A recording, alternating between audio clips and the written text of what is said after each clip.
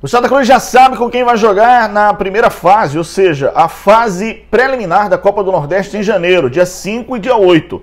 Primeiro tem que passar pelo jogo do dia 5, depois passa pelo jogo do dia 8 e aí vai para o, a fase de grupos da Copa do Nordeste.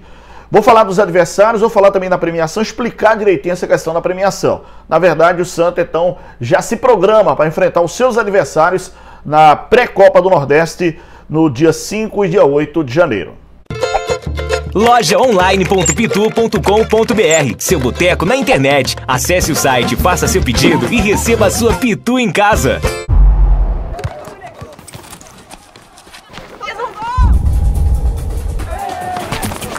A gente sabe o que é ser brasileiro. Querer ser o melhor do mundo. Virar notícia atrás. Nascer driblando tudo. Tudo mesmo. Sem abrir. Aqui é brabeza. Teimosia. Esquece. Aprender a cair e dar aula de levantar. Deu ruim? A gente tenta de novo. De novo. De novo. De novo. E de novo. E sair pro abraço. Porque somos todos brasileiros. Somos a Bet Nacional. A Bet da Tropa. A Bet da Paula, da Luli, do Lucas. A Bet da Ana, do Luiz, a Denise. A Bet do Vinícius Júnior. A Bet dos brasileiros.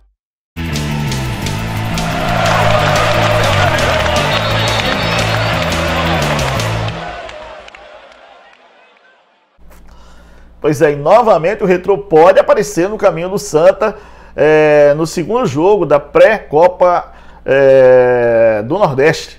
Vou falar aqui para vocês. Mas ó, chega dando um like, o um joinha, um gostei. Se inscreve aqui no canal, ativa o sininho. Aliás, a gente está caminhando para 100k. Dá moral, se inscreve aí. E compartilhe o vídeo com todo mundo, deixe seu comentário, faça parte aqui do nosso clube de membros. Você é sempre bem-vindo, sempre bem-vinda. Vamos lá, galera. Por etapa, vamos começar. Bom, tá definido o primeiro adversário do Santa, jogo único. Esse jogo vai ser uma chamada do Santa Cruz e é contra o Calcaia do Ceará, tá? Contra o Calcaia do Ceará, o jogo único pré-Copa do Nordeste, dia 5 de janeiro. Aí tem um problema porque o Santa Cruz vai ter que pagar aquela punição do jogo contra o Floresta, que houve briga lá na arena, invasão de campo. Então, a gente não sabe onde vai ser esse jogo e se vai ser de portões fechados, né, com, sem a presença do torcedor. A gente vai aguardar a definição da CBF. A verdade é que o Santa joga dia 5 contra o Calcaia. E eu já vou explicando essa questão de cotas. Bom, é o seguinte: quem perder, quem, quem eliminado, bota 120 mil reais e vai embora para casa. Quem passar, continua na briga né, para chegar à fase de grupos. Se o Santa é, perder, recebe 120 mil reais e volta para casa, não vai disputar a Copa do Nordeste. E se o Santa ganhar, o Calcaia recebe 120 e vai para casa. Aí tem o, o segundo jogo no dia 8. Se o Santa passar pelo Calcaia, vai jogar contra o vencedor de Retrô e Botafogo da Paraíba. Isso mesmo, Retrô novamente no caminho do Santa. Só que dessa vez o Santa, pelo ranking, tem a chamada do jogo. Então não vai ser aquele negócio da polêmica do preço dos ingressos, não.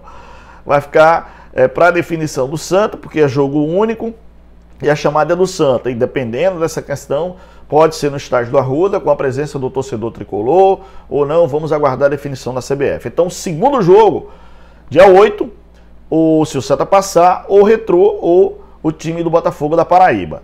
Bom, aí é o seguinte, aí o valor é 180 mil. Então, se o Santa é, perder, pega os 180 mil, volta para casa e não vai disputar a Copa do Nordeste. Se o Santa ganhar, aí o Santa vai botar 1 milhão e 200 mil reais para entrar na fase de grupos. Entendeu, torcedor?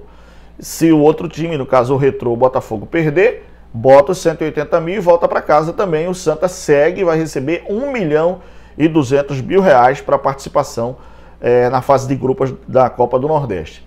E aí, passando de fase, torcedor, já, já falei sobre isso no comentário anterior, passando de fase, a equipe do Santa vai ganhar 500 mil é, para ir já para o mata-mata, para as quartas de final ganha 500 mil. Se passar, quer dizer, 1 milhão e 200 mais 500 mil, uh, 1 milhão e 700. Se por acaso uh, uh, uh, o Santa passar das quartas de final, for a semifinal, bota mais 700 mil reais. Isso, 700 mil reais no bolso.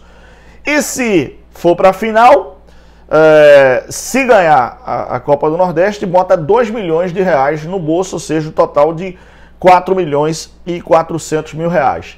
Mas se não ganhar, se ficar como um vice-campeão, bota 3, 1 milhão e 300 mil reais é, é, é, no bolso. Então, quer dizer, é uma grana razoável, é, para uma equipe que vai disputar a competição muito deficitária, que é a Série, que é a série D, quarta divisão.